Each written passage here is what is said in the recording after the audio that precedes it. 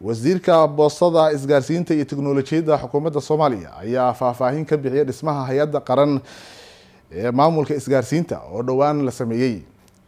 Mudane cabdi canshuur xasan oo maanta shir jaraa-id ku qabtay magaalada muqdisho ayaa sheegay in uu meel wanaagsan marayo dhismaha hay'addaasi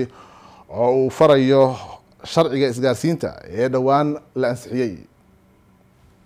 Sharcigaas oo ah mid ummadda mid faa-iidooyin fara badan u leh ummadda soomaaliyeed ha noqoto mid dhaqaale amni iyo bulshaba. Haddaba si loo gaaro faa-iidooyinkaas waxa uu sharciga farayaa wasaaradda boostada iyo isgaarsiinta iyo teknolojiyada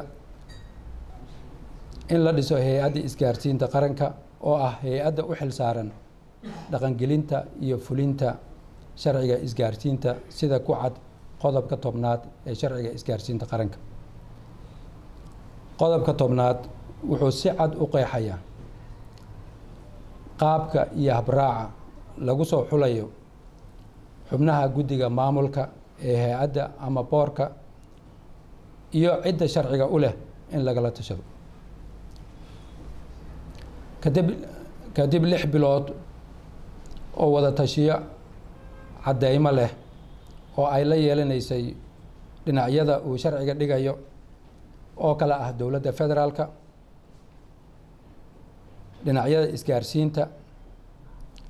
iyo xubno ka kala imaanaya bulshada rayidka iyo bahda qareennada wasaaradda waxay ku guuleysatay in la soo magacaabo